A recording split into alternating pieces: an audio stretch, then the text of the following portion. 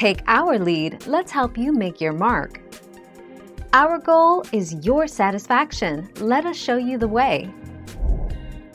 Use 4 high when you are needing slightly more traction than normal but can still drive at a reasonably high speed. If you're going OER 15 miles per hour, then this is the setting you'll use.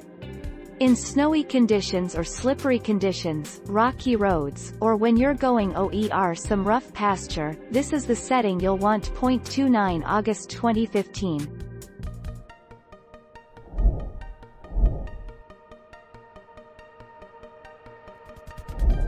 Make your mark, take our lead.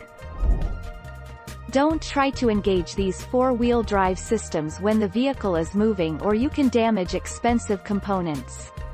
However, most 4WD systems can now be shifted into or out of 4WD on the fly at the push of a button.